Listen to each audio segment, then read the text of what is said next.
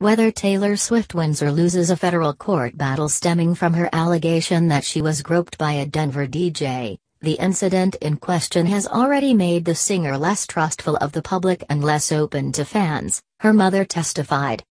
Andrea Swift, who acts as part of her famous daughter's management team, took the witness stand on Wednesday in the trial pitting the Grammy-winning pop star against the man she accuses of sexual assault, radio personality David Mueller. The U.S. District Court jury is weighing Taylor Swift's accusation that Mueller grabbed her bare buttocks at a pre-concert fan reception in 2013 against Mueller's assertion that he was falsely accused and consequently fired from his job.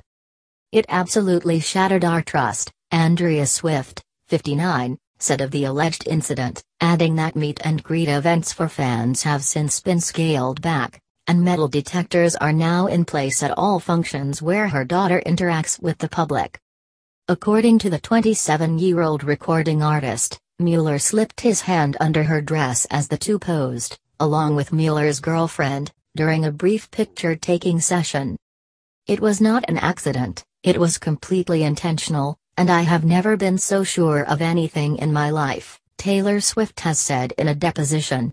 She is expected to take the witness stand herself later in the trial. Mueller, 55, testified on Tuesday that he may have made innocent physical contact with Swift, perhaps brushing her arm or torso. But he denied any inappropriate behavior. Asked whether he grabbed Swift's backside, Mueller replied, flatly, No, I did not. The singer's mother was inexplicably called as a witness by the Mueller's lawyer, Gabrielle McFarland, the next day, but her testimony was anything but favorable to the former disc jockey for radio station KYGO FM. The elder Swift said she wanted to vomit when her daughter told her, Mom, a guy just grabbed my ass at the meet and greet. Asked if she sought out eyewitnesses to verify the account, the mother said she had no reason to doubt her daughter's word. He sexually assaulted my daughter, right there, that guy, Andrea Swift said as she pointed at Mueller, sitting 15 feet away. I heard it from my daughter's mouth. I know that it happened. A member of Swift's security team later confronted Mueller, and a representative for the singer ultimately lodged a complaint with the radio station but Swift's mother said the police were not called for fear of publicity. I did not want this event to define her life, Andrea Swift testified.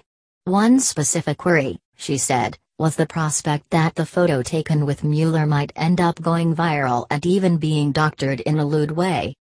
The mother said that seeing the photo in retrospect she could tell something was amiss from her daughter's body language and the look in her eyes. She did not elaborate, Mueller initiated the litigation, claiming Swift fabricated the groping story and pressured Kygo to fire him. Swift then countersued for assault and battery. battery.